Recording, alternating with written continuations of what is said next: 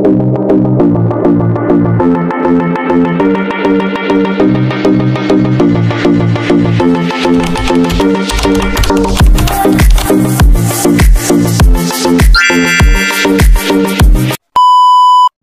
talaga pag tumatanda na tayo eh, no?